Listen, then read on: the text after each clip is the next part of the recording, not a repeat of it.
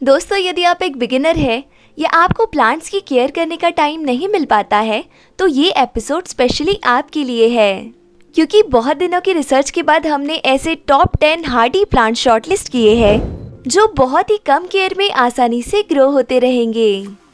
तो चलिए एक एक कर कर जानते हैं इन सभी beautiful low maintenance indoor plants के बारे में।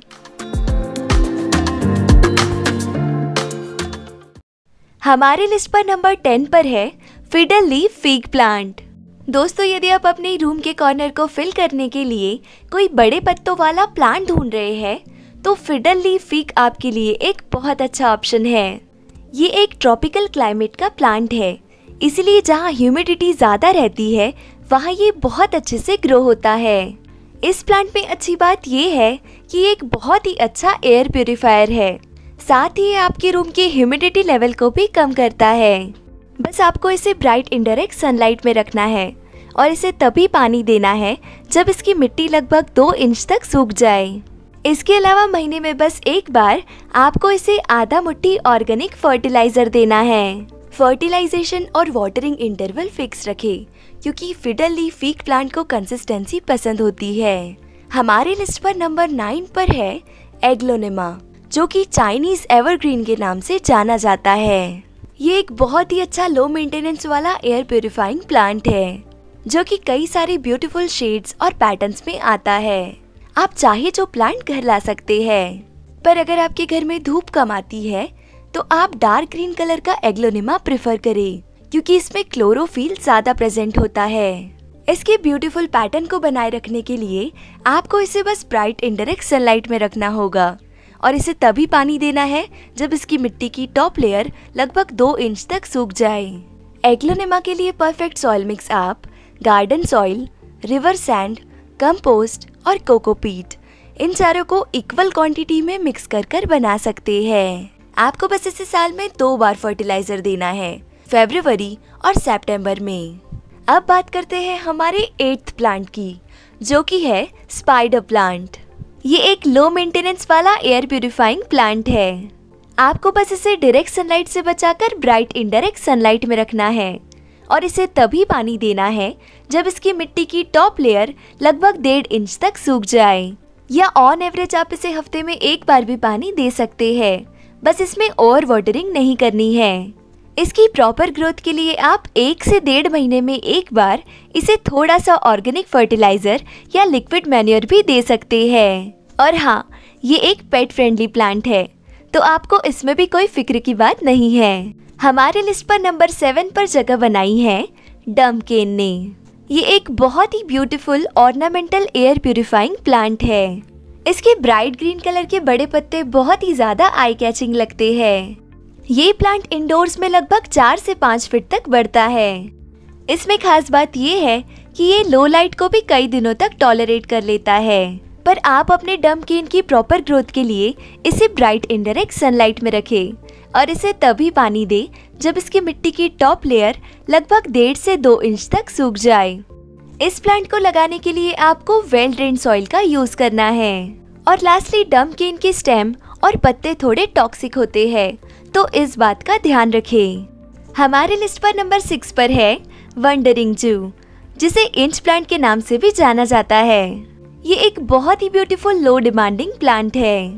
इसे आप पॉट्स में या हैंगिंग बास्केट्स में, दोनों में से किसी में भी लगा सकते हैं। पर ये प्लांट हैंगिंग बास्केट्स में बहुत ज़्यादा अच्छा लगता है। इसके पत्तों में आपको ग्रीन और वॉयलेट कलर में ऑप्शंस मिल जाएँगे। आपको बस इसे ब्राइट इंडायरेक्ट सनलाइट में रखना है। और इसकी मिट्टी की टॉप लेयर एक से डेढ़ इंच तक सूखने पर इसे पानी देना है। या ऑन एवरेज आप इसे हफ़्ते में एक बार भी पानी दे सकते हैं। और हाँ ये प्लांट पेट फ्रेंडली नहीं है। इसीलिए इसे हैंगिंग बास्केट में रखना प्रेफर करें। हमारे लिस्ट पर नंबर फिफ्थ पर है बैम्बू प्लांट ये एक बहुत ही पॉपुलर वास्तु प्लांट है। और फेंगशुई में भी इसे बहुत शुभ माना गया है। यदि आप किसी को कुछ गिफ्ट देने की सोच रहे हैं तो बैम्बू प्लांट एक बहुत ही सस्ता और अच्छा ऑप्शन है। आपको बस इसे medium to bright indirect sunlight में रखना है और हफ़्ते में एक बार इसका पानी चेंज करना है। कोशिश करें कि इसे पीने के साफ़ पानी में रखें ताकि ये प्रॉपरली ग्रो हो पाए। हमारे लिस्ट पर नंबर फोर्थ पर है पोथोज जिसे आप सब लोग मनी प्लांट के नाम से जानते होंगे। ये एक बहुत ही ब्यूटीफुल वास्तु प्लांट तो है ही साथ ही एक बहुत ही low demanding air purifying plant भी है। मनी प्लांट में आपको कई सारी वेराइटीज में ऑप्शंस मिल जाएँगे। मनी प्लांट एक वर्सटाइल प्लांट है। आप इसे मिट्टी या पानी दोनों में से किसी में भी रख सकते हैं। अगर आप इसे मिट्टी में रख रहे हैं तो मिट्टी वेल ड्रेन और लाइट रखें। अगर आप इसे पानी में रख रहे हैं तो हफ़्ते में एक बार इसका पानी ज़रूर चेंज करें। आपको बस इसे ब्राइट इनडायरेक्ट सनलाइट में रखना है और ऑन एवरेज हफ़्ते में इसे दो बार पानी देना है। लास्ट के जो तीन प्लांट्स मैं आप सबसे शेयर करने वाली हूँ, ये तीन प्लांट स्पेशली हमारे लेजी और बिज़ी गार्डनर्स के लिए है, क्योंकि इन प्लांट्स को सूखा रहना ज़्यादा पसंद है। नंबर थर्ड पर जगह बनाई है हमारे हार्डी मेडिसिनल प्लांट एलोवेरा ने। तो बेसिकली ये एक rough and tough low demanding air purifying plant है। जो अपनी मेडिसिनल प्रॉपर्टीज़ के कारण जाना जाता है। इस प्लांट का use hair care skin care और कई सारी बीमारियों को ठीक करने के लिए किया जाता है। क्योंकि ये एक सर्कुलेंट है मतलब इसके पत्तों में ऑलरेडी पानी स्टोर होता है। इसीलिए आपको इसमें ओवर वाटरिंग बिल्कुल नहीं करनी है। ऑन एवरेज आपको इसे दो हफ्तों में एक बार पानी देना है और प्लांट को लगाने के लिए वेल्ड्रेन सॉइल का यूज़ करना है। और इसे ब्राइट इंडायरेक्ट सनलाइट में रखना है। और अगर आप इसे बाहर रख रहे हैं तो इसे आप तेज धूप से बचाकर सेमी शेड में रखिए। ये प्लांट बहुत ही स्पीड से बढ़ता है। इसीलिए इसकी रूट्स को फैलने के लिए इनफ स्पेस की ज़रूरत होती है। इसीलिए इसे लगाने के लिए टब का यूज़ करें, ताकि ये अच्छे तरीके से ग्रो हो पाए। और रही बात फर्टिलाइज़र की तो आप इसे बस दो महीने में एक बार एक मुट्ठी ऑर्गेनिक फर्टिलाइज़र दे सकते हैं। हमारे लिस्ट पर नंबर टू पर है सनसिवेरिया जो कॉमनली स्नेक प्लांट के नाम से जाना जाता है।